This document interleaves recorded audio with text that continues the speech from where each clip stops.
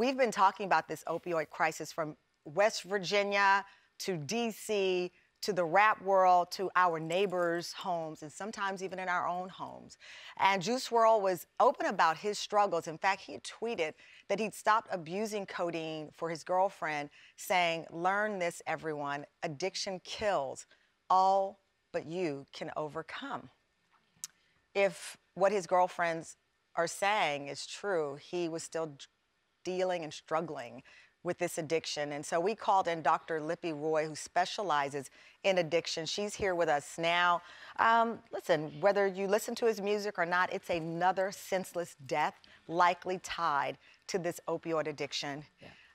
Juice WRLD's friend said that three Percocet, lean, at one point in time in his body, what does that do to someone? Yeah, thank you for so much for talking about this really important public health problem and epidemic, uh, opioids specifically, but addiction more broadly. Most of my patients and most people who are using opioids are actually using multiple substances. We have to wait for the toxi official yeah. toxicology report, but um, yeah, opioids uh, such as Percocet, uh, which is a combination of oxycodone, which is an opioid, and acetaminophen, which is commercially known as Tylenol, um, along with lean, which is a cough syrup, along with codeine and other substances, can cause a whole host of problems, including shutting down your breathing. According to people on the plane, he started to seize. He started to have seizures. Yeah. And it made me think of the rapper Rick Ross, who was on our show not long ago. I'm going to play what Rick said to me in an interview where he revealed he also dealt with an addiction that he has since conquered. Let's listen to it. At one time, I was um, drinking Tesanex and codeine at one time. What is Tesanex? Tesanex was something that really helped me. I felt relaxed at the time. It was something I would sit in the studio and drink for hours at a time. After three or four years, I wouldn't get no sleep, and so that's what began me having seizures. So I began were... suffering seizures. So he started having seizures, ended up nearly losing his life uh, Juice WRLD had a seizure, may have gone into cardiac arrest after that. Is that what this does yeah. when you have all of this in your body? So opioids cause a whole host of uh, problems. Opioid intoxication can really shut things down, slow your heart rate, your blood pressure. But how it really kills people is shuts down your breathing. That's how people die of overdose. But it's actually the acetaminophen, the Tylenol, when that's taken in high doses, can cause convulsions and seizures. Again, he might have also been taking other substances, which altogether could have caused a whole host. Why did did the Narcan work?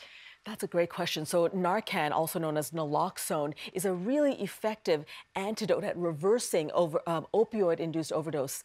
The problem here is that it could maybe didn't work for a number of reasons. Maybe he took a high dose of opioids and they just didn't give him enough Narcan. It's possible that if he was if he was taking fentanyl, that's a really potent uh, opioid. That was effective. But if he was using other substances, remember Narcan will only reverse opioids. It won't reverse benzos, alcohol, or any other substance. So whatever else is in your body, it does not have an impact on. Because I was Correct. listening to that interview, and if what um, the ex-girlfriend was saying was true, I thought, how was he even able to walk? walk and function yeah. with that amount of drugs and different types in his body? Yeah, that's a great question.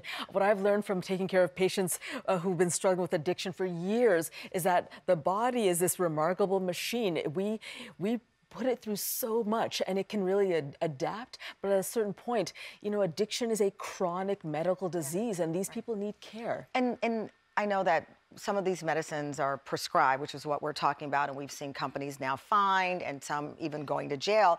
But this leads to the heroin crisis as well, because once you can't get it in a prescription form, yeah. people then go to heroin for that same relief, if yes. that's the word. I don't even know how to describe it. Yeah, no, you're absolutely right. In fact, the, the current opioid crisis is different today than it was when it started in the late 90s. It was mostly prescription opioids like OxyContin. And then it went, the second wave was heroin.